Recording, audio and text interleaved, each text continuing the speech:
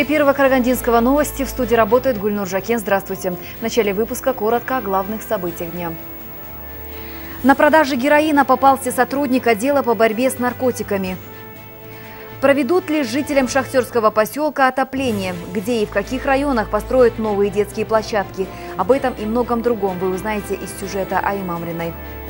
В этом году 150-летие Алихана Букихана будет отмечаться под эгидой ЮНЕСКО.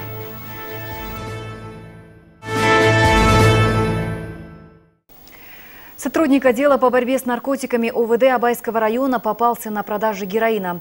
26-летний Ибрай Тюлюбаев задержан при сбытии дозы наркозависимому лицу. Дело рассматривается в специализированном межрайонном суде Караганды. Сейчас полицейского уже уволили из органов. По неофициальной версии, бывший сотрудник Абайского ОВД попался при продаже героина. Его подозревают в незаконном обороте наркотических средств, связанным со сбытом. Также на момент задержания он был действующим сотрудником полиции и тем самым злоупотребил своим служебным положением. Если его вина будет доказана, Тюлюбаеву грозит лишение свободы на срок от 10 до 15 лет с конфискацией имущества. А, практически каждое дело, рассмотренное в нашем суде, э, вызывает общественный резонанс аналогичных дел не становится меньше. Судья также рассказал об осужденных сотрудниках Шахтинского ОВД. Они покровительствовали наркосбытчице Картоевой на протяжении двух лет. Четверых оперуполномоченных отдела по борьбе с наркобизнесом приговорили к 17 и 16 годам лишения свободы с конфискацией имущества. В народе как говорят, сколько веревочки не видится, все равно конец будет. Да?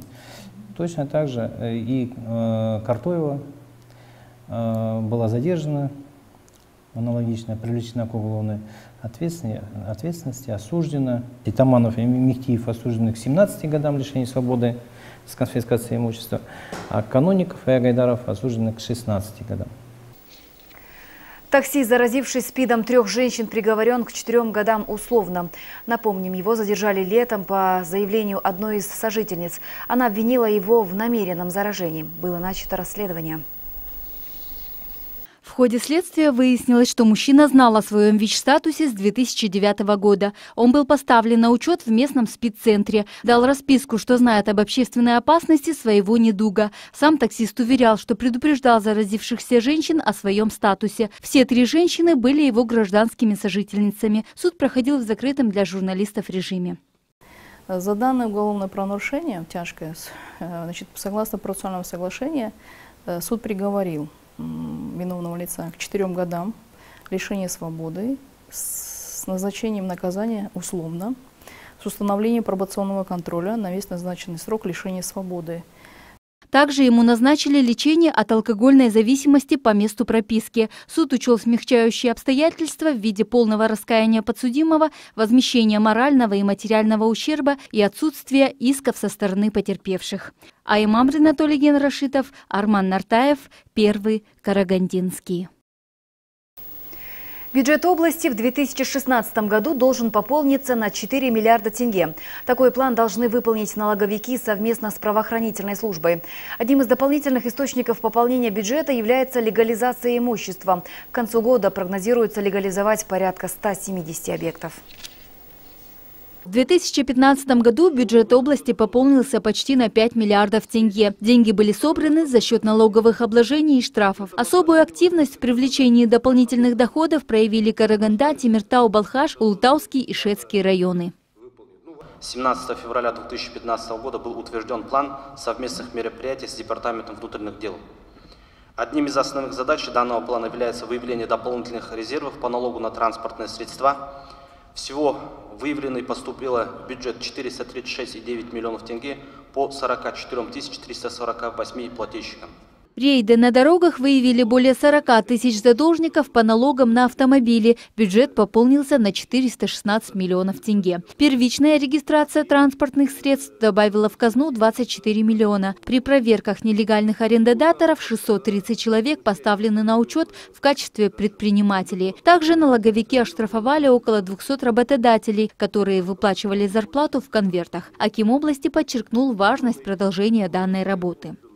Департаменту государственных доходов по согласованию обеспечить выполнение пунктов плана мероприятий по изысканию дополнительных доходов в местный бюджет, так же как в 2015 году, обеспечить выполнение годового плана доходной части бюджета области. Также глава региона призвал подключаться к работе чиновников из неактивных регионов. Противодействие теневой экономике должно быть жестким. Начинать проверки нужно в первую очередь не с бюджетных организаций. У них и так все прозрачно, пояснил Абдибеков. А имамлина Улжас Габасов, Арман Нартаев, первый Карагандинский.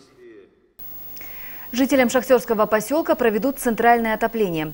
Строящаяся теплотрасса обогреет дома не только при Шахтинском. Об этом и о предстоящем улучшении инфраструктуры Караганды рассказал Аким города Нурлан Албакиров на отчетной встрече с населением. Людей на собрании было много. Все старались задать наболевшие вопросы. Один из них касался главной проблемы шахтерского поселка. Жители жаловались на отсутствие отопления на протяжении 20 лет. С подвала носим это, уголь, отапливаем, в ванной у нас печка стоит. Нурлан Албакиров пообещал жителям долгожданное тепло. Со слов градоначальника, строящаяся теплотрасса сможет решить вопрос отопления, но когда ее достроят, пока неизвестно. Также в этом районе скоро достроят новое здание Кировского отдела полиции. 8 М8. А, проект идет. Сейчас в этом году делается его корректировка. Дополнительные денежные средства через программу Нурлыков будут заявлены. Я думаю, что последующий, следующий год, или 17 или 18 мы завершим, с учетом того, что прошла большая модернизация на ТЭЦ-3, количество тепла хватит, и уже вторым этапом будем подсоединять а, ваш район. Жители Октябрьского района жаловались на заброшенность улиц. Освещение есть только в центре, окраины живут в потемках и грязи. Но не забывайте, мы люди, мы там живем. У нас там грязь, по улице не пройдешь, света нет. И вообще нас не считают там за людей. Аким города дал поручение разобраться с освещением улиц. Также он обещал содействовать строительству стеллы героям Чернобыльской трагедии. Денежные средства у нас в резерве а общая сумма одинаковая, они у нас есть. Да, 30, определитесь, 30 миллионов тысяч. Определите вид, сами определите вид, да, уже единому решению придите, и мы эти деньги выделим и их построим. Нурлан Аубакиров поделился планами. С его слов, вопросы безработицы и нехватки мест в садиках на постоянном контроле. Он отметил, проблемы есть, но они постепенно решаются. Все вопросы и предложения чиновники приняли к сведению. А имамлина Олжас Габасов, Арман Нартаев, первый Карагандинский. Спонсор показа Galaxy Group, производитель продукции торговых марок Алюгал, Галвин, Херкюль. Галвин. Оконные системы А-класса. Долговечность 60 лет. Галвин. Морозостойкий, надежный, прочный. Для тех, кто ценит качество.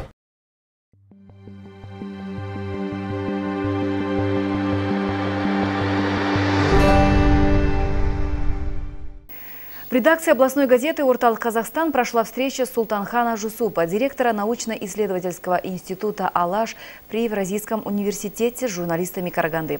В ходе встречи обсуждалась публицистика журналиста, казахского общественного деятеля, одного из лидеров партии «Алаш» Алихана Букихана. В этом году 150-летие Алихана Бакихана будет отмечаться под эгидой ЮНЕСКО. Почитатели Бакихана интересовались, являются ли идеи Алашурды общими для всего тюркского народа. Актуальны ли они сегодня? 1905 году Алихан Букейханов был инициатором открытия газеты. Он отправлял письмо царю с просьбой, но в то время его не поддержали. Что скажете про это? Алихан Букихан создал национальную политическую партию «Алаш», идейные предпосылки которой были изложены в газете «Казах», выходившей с 1913 года. Он плодотворно работал в газетах «Степной край», «Киргизская степная газета», «Сын степей». Его публицистические статьи были пронизаны болью за своих земляков. Он посетил свою жизнь жизнь борьбе за независимость народа и до последнего вздоха трудился во имя своих идеалов. Алихан Бокейхан в свое время был единственным человеком, который поднимал разные темы в своих статьях. До 1905 года в казахской публицистике никто не проработал как он. Его заслуги надо и необходимо ценить. У него своя лепта в казахской истории. Деятельность выдающегося гражданина, посвятившего всю свою сознательную жизнь делу освобождения народа, была многогранной. На сегодня его многие рукописи не сохранились. К примеру, рукописи о казахских степных лошадях уже не найти. Алихан Букихан пропагандировал животноводство, считал, что казахи не должны утрачивать исконное дело скотоводства. Гульза Ацахова, Арман Нартаев, Первый Карагандинский.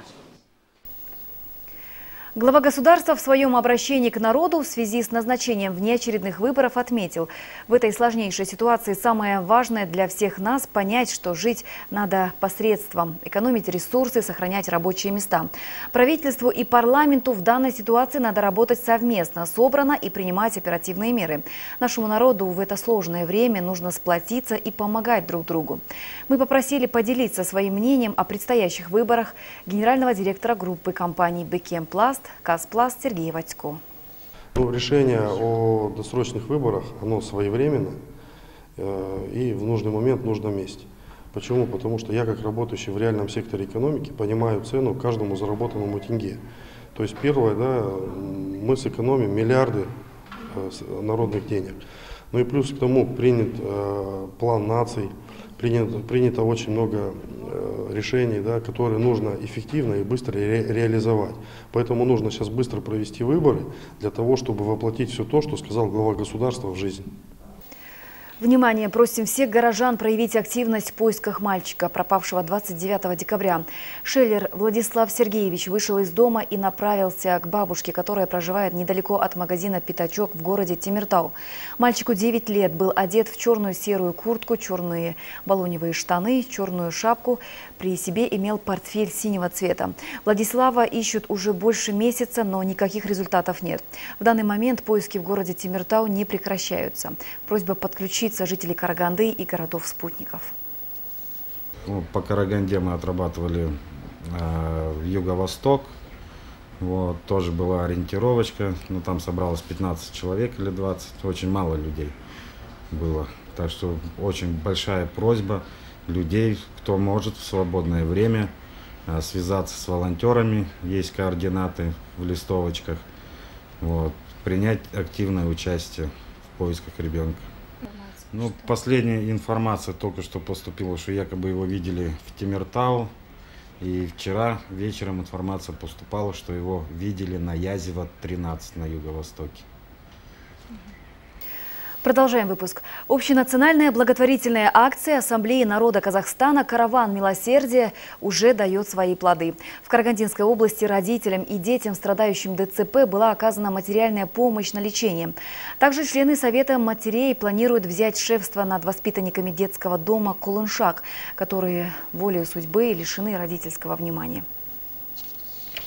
Как известно, в прошлом году на последней 22-й сессии Ассамблеи народа Казахстана председатель Ассамблеи народа Казахстана Руслан Абишевич Назарбаев обратил внимание членов Ассамблеи, что надо уделять больше внимания благотворительной деятельности, помощи нуждающимся, медиацией заниматься.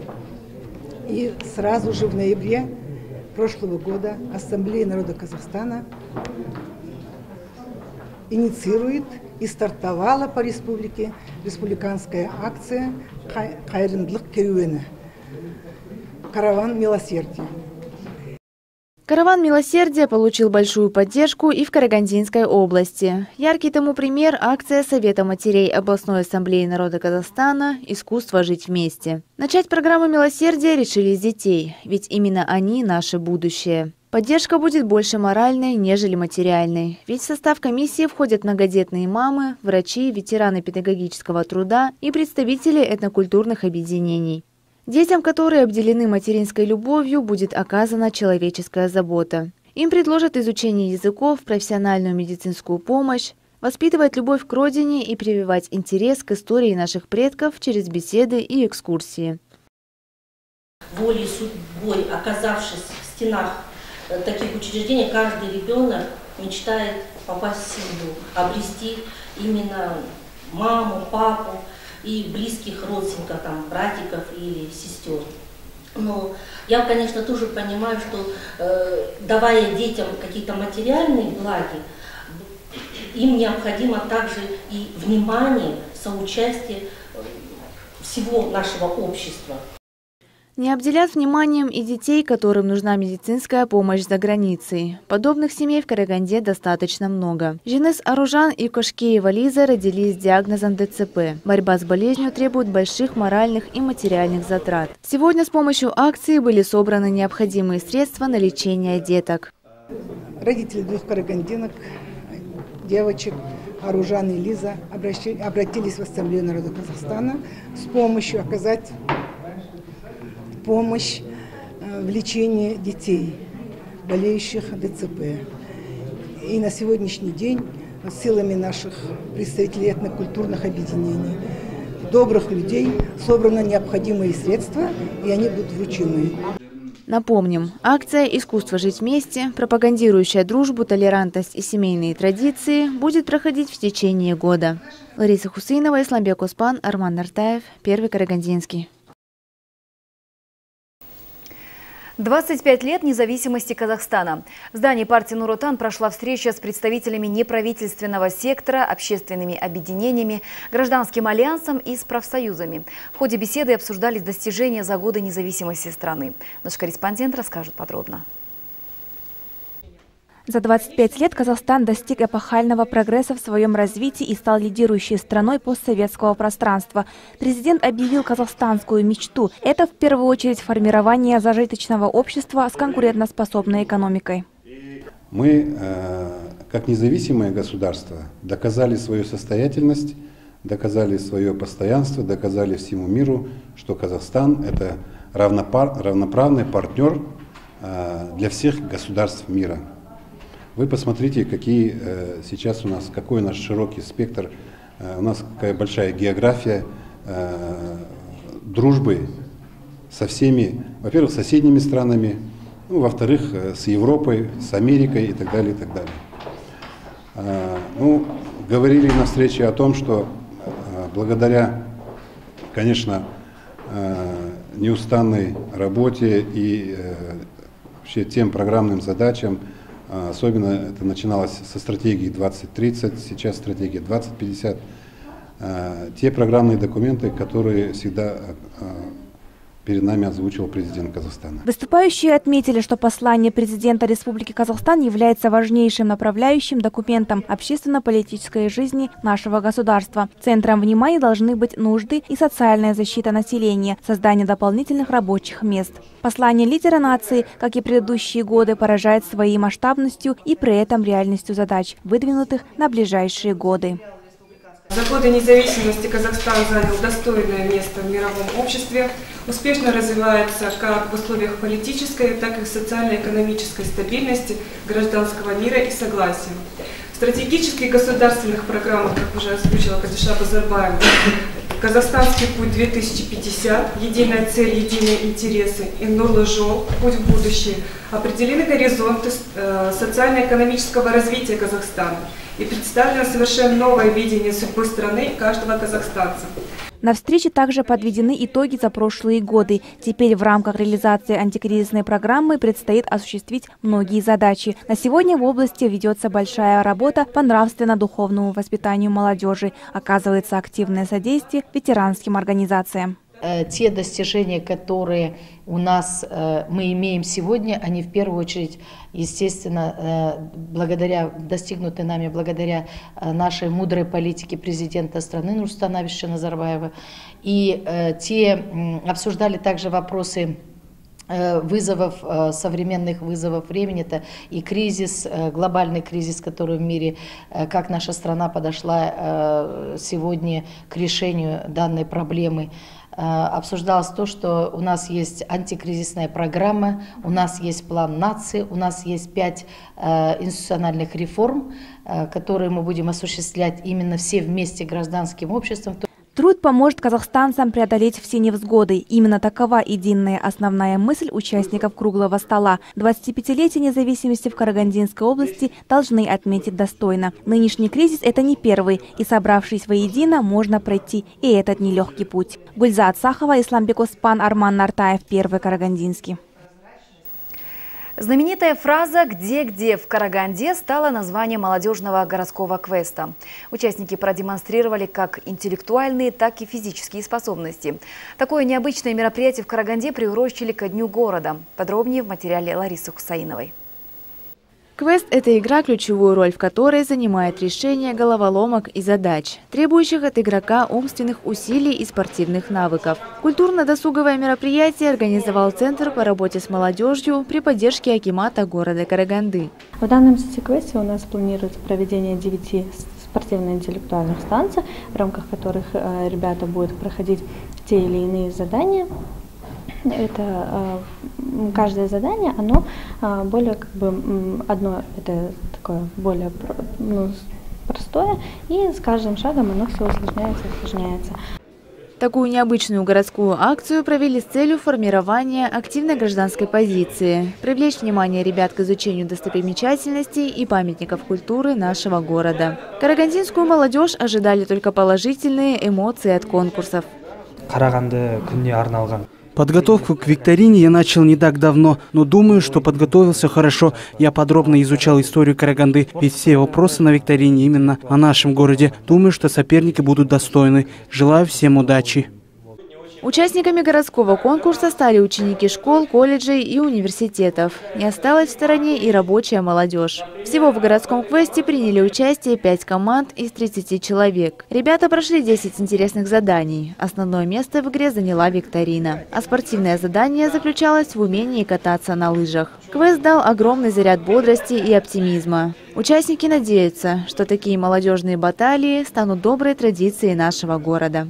Лариса Хусейнова, Исламбек Успан, Арман Нартаев, Первый Карагандинский. Это были все новости на сегодня. Если у вас есть интересная информация, звоните нам по телефону 42 06 49. Всего доброго. Аман Саубангстар.